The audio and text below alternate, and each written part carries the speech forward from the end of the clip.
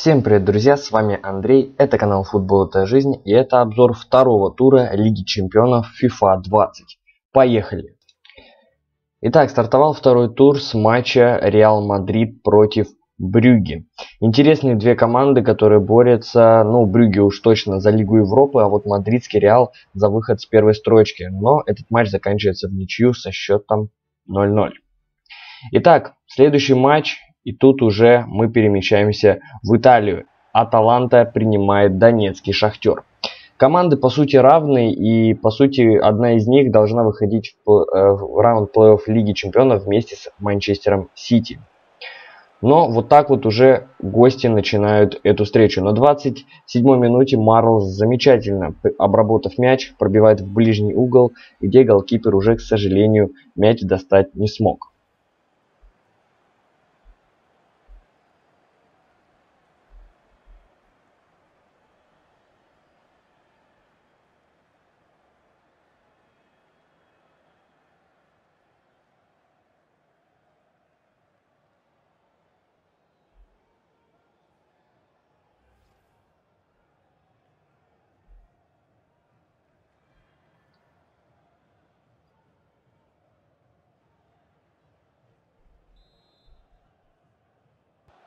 Но все-таки домашняя команда собралась с мыслями и уже во втором тайме сравнивает счет.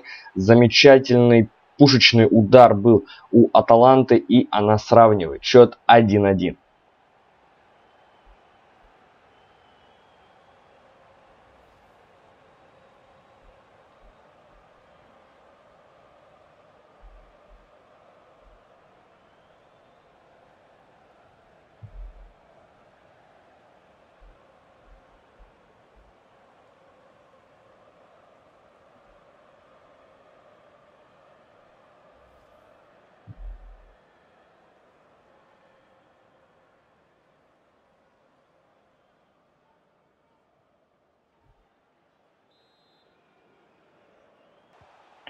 Ну и вот она концовка матча.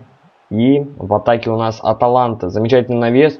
Удар Пашалича. И это 2-1. Волевая победа, которую одерживает Аталанта над Шахтером у себя дома. Проигрывая 1-0, они собрались с мыслями и смогли ответить. Сначала на один мяч, ну а потом уже и выйти вперед в концовке матча.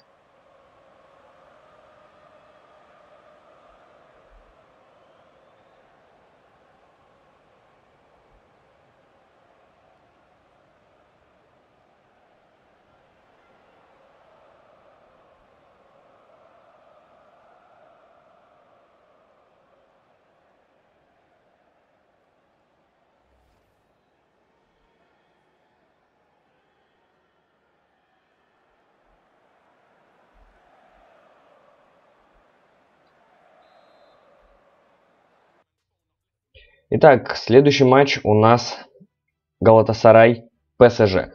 Тоже интересный матч. Галатасарай может дать бой грозному клубу из Франции, который собирает просто невероятный состав для одной цели. Это выиграть Лигу Чемпионов. И вот так вот в концовке тайма замечательно, но все-таки с таким большим отскоком нас забивает ПСЖ. Эдинсон Кавани открыл счет и это был его единственный гол в этом матче.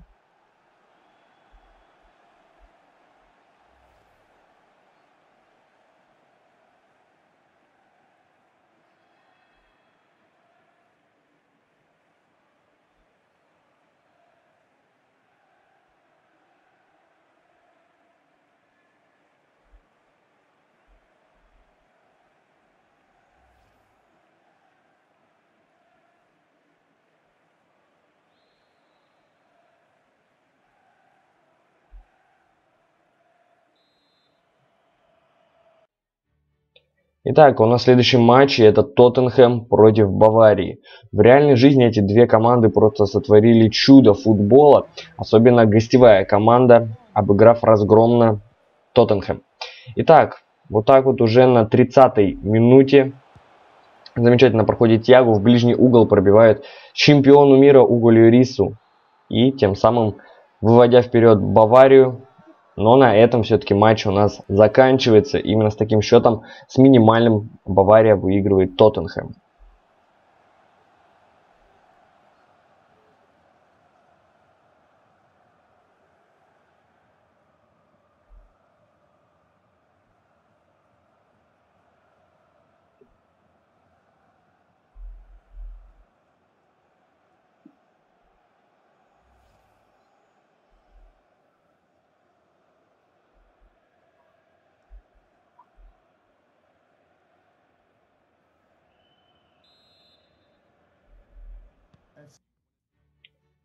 Итак, у нас уже идет здесь следующий матч. И снова Манчестер Сити, но против уже Динамо Загреба. Манчестер Сити замечательно разобралась в гостях с э, донецким шахтером и теперь уже дома принимает чуть послабее команду из Хорватии, но не смогли они забить в первом тайме, забили за 15 минут до конца и снова Серхио Агуэра и снова головой.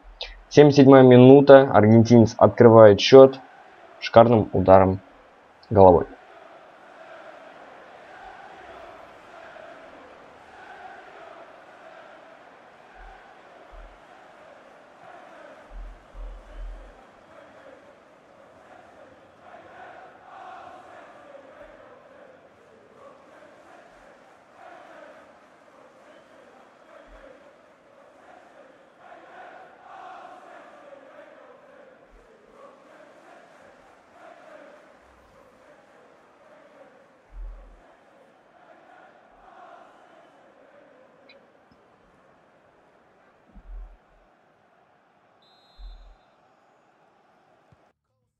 Итак, следующий матч.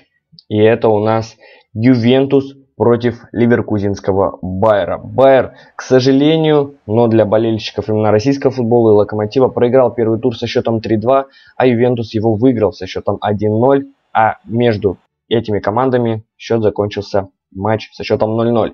И вот он наш теперь Локомотив, единственная российская команда, которая в нашем обзоре может участвовать, так как это единственная команда, которая участвует в Лиге Чемпионов и есть на нее лицензия FIFA 20. И вот, концовка уже матча, и Федор Смолов снова забивает в Лиге Чемпионов, и теперь уже мадридскому Атлетико, который приехал в Россию, уже было такое противостояние, но, правда, в том сезоне и в Лиге Европы. Тогда Атлетика прошел э, московский локомотив, но вот здесь вот замечательная атака, и Жамалединов отлично отдает передачу на Федора Смолова, который в нижний угол пробивает Яну Облаку. На этом матч заканчивается победой Локомотива. Это уже вторая победа железнодорожников. И снова минимальная.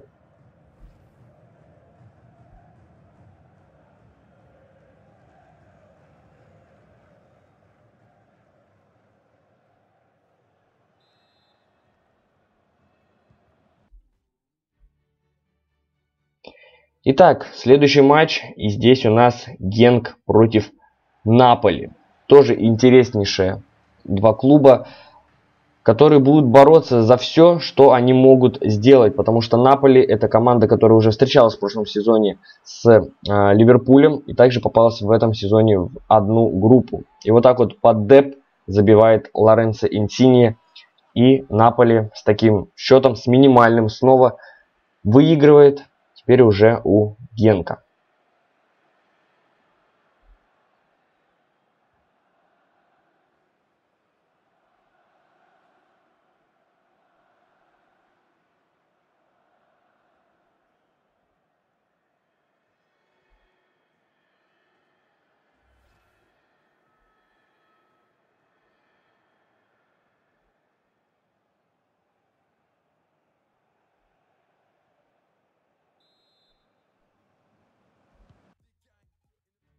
Итак, матч у нас теперь, как вы можете уже догадываться, это снова Пражская Славия. Встречается она теперь против Дортмундской Боруссии. Действительно, бой такой прям дала Прага с Интером особенно, сыграв с ними в ничью 1-1. И вот так вот уже на 38 минуте с углового она забивает Дортмундской Боруссии. Это просто э, такое прям открытие этого сезона. Дортмундская Боруссия и прошлого была, ведь э, такой невероятный состав они смогли собрать. Молодняк, Марко Ройск, они готовы действительно выигрывать чемпионат Германии, но вот так вот пропускают против чешской команды.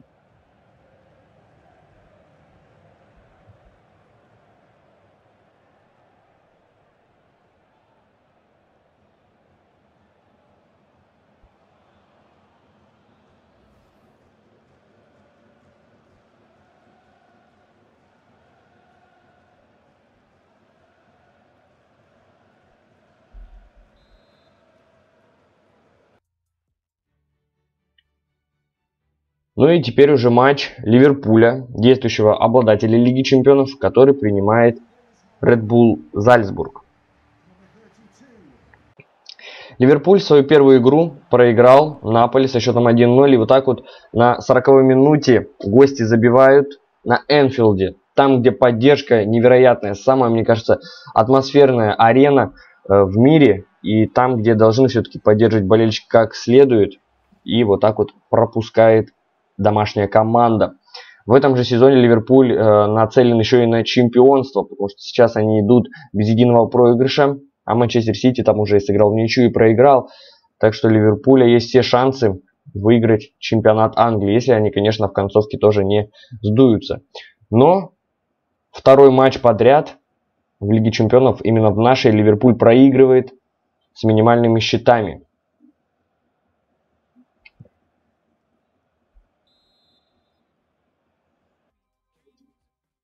Итак, та команда, от которой действительно ждут чего-то нового. Давно они не выигрывали Лигу Чемпионов. Это Барселона принимает Интер. Барселона обыграла минимально Боруссию Дортмунд на выезде. И вот так вот на 50-й минуте замечательным ударом забивает Интер. Пропускает Барселона, Сенси забивает. Терштеген, естественно, в недоумении, почему так отыграла оборона в этом моменте. Все-таки Интер тоже, можно было сказать, что проиграла, так тоже можно сказать. Первый тур, сыграв в ничью с Пражской Славией. Так что это действительно можно считать как поражение, потерять очки в матче с такой командой. Но они реабилитировались и обыграли Барселону на выезде с минимальным счетом.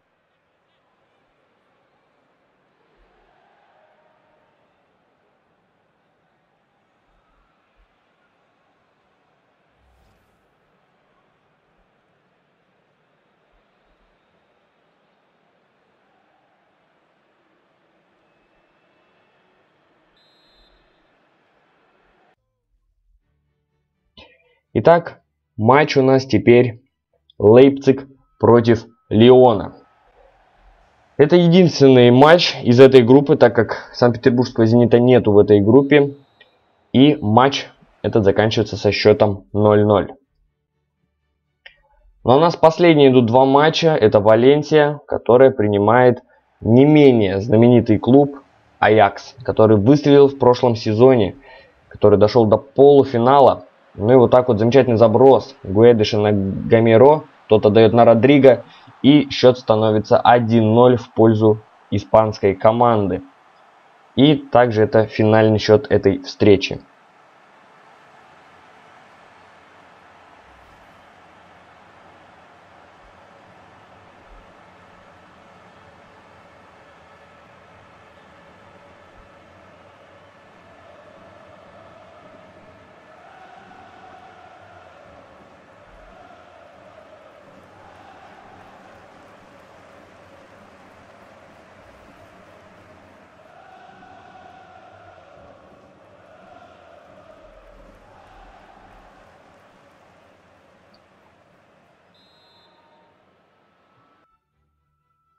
Итак, последний матч в этом обзоре. Лиль принимает лондонская Челси. Обладатели Лиги Европы прошлого сезона против команды, которая должна была лучше себя показывать в чемпионате Франции. И этот матч заканчивается счетом 0-0. Ну а на ваших экранах, друзья, команда второго тура Лиги Чемпионов.